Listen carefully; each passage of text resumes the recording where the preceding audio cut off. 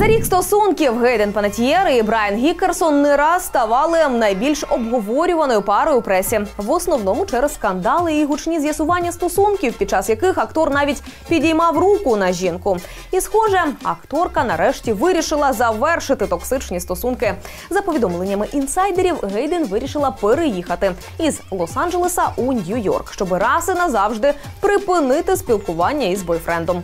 Після тих скандалів і пильної суспільної уваги, з яким їй довелося зіткнутися у Лос-Анджелесі, Гейден вирішила залишити усе погане в минулому і переїхати до Нью-Йорка. Зізнаються джерела, наближені до панетьєр.